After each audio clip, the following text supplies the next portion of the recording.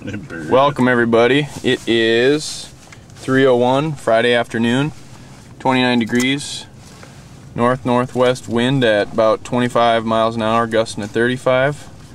We're out here north of the lake, and uh, as you can see, the avalanche was blazing a trail Dukes of Hazzard style through this minimum maintenance road, and. Uh, is now classified as a casualty.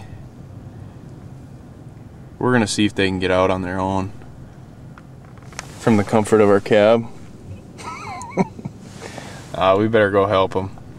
Holy the snow is so high and so hard that eventually it just couldn't push through it anymore. I gotta give you props, man. You made it a long ways in here. You were barreling. I said you were barreling through this crap, that's for sure. I know, and I was throwing up over this, and then we were going through this, and I kept it floored, but eventually just couldn't push the snow no more. I just stopped the truck. Yeah, I can about imagine. I'm about high centered right here in your track.